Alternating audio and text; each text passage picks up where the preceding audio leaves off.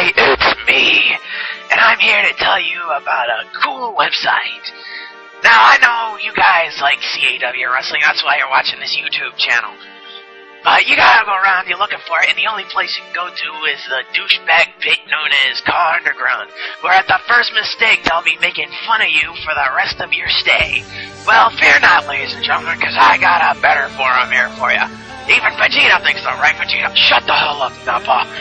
Okay, anyway, we're here to talk to you about the Anime CAW Alliance. Now, I know what you're thinking. No, we're not just about anime CAW here at the Alliance. You can bring any CAW league you want, anime or no anime characters. We'll take them any way we can.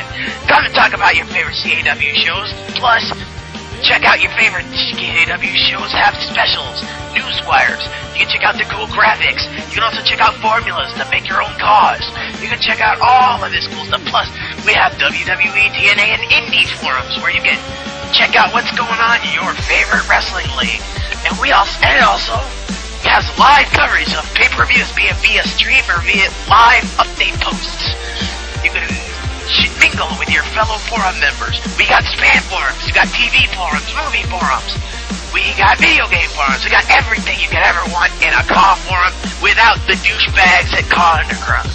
So come on down today to Anime CAW Alliance at animecaw.fullforums.com. You'll be glad you did.